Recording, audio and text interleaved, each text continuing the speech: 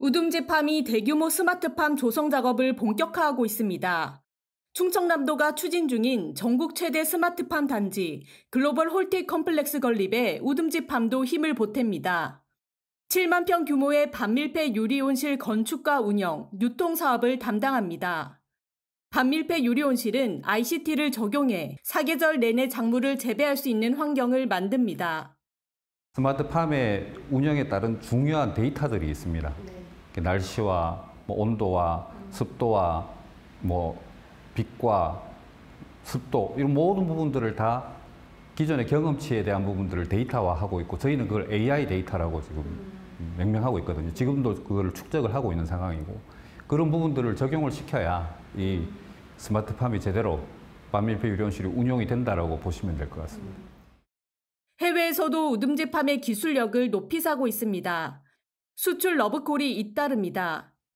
지난해 두바이 최대 농업회사인 엘리트 아그로와의 스마트팜 기술 협약을 시작으로 사우디아라비아 바디아와 베트남, 우즈베키스탄 기업과의 협력도 이어갑니다.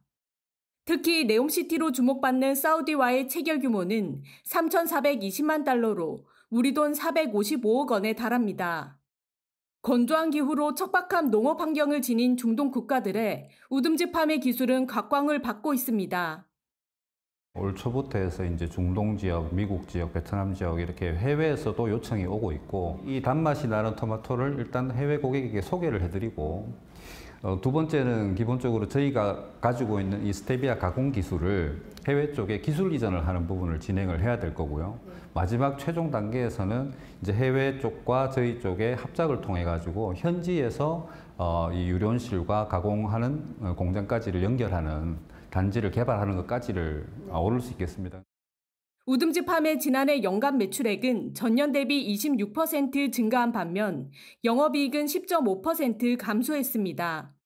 스마트팜 설비 구축과 연구개발 등으로 비용이 빠져나간 영향입니다. 현재 우듬지팜의 매출 대부분을 책임지는 스테비아 토마토를 넘어 꾸준한 투자로 유러피안 채소까지 재배 품종을 확대한다는 목표입니다. 의료용 대마 등 바이오 산업 지출도 꾀하고 있습니다.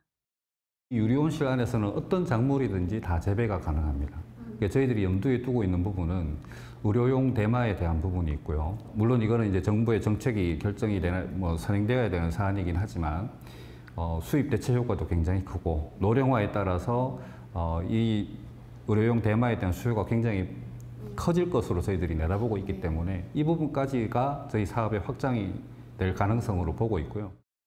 농업의 첨단화를 더한 우듬지팜. 새로운 농업 패러다임을 제시하며 변화의 바람을 불어넣고 있습니다. 이데일리 TV 이지은입니다.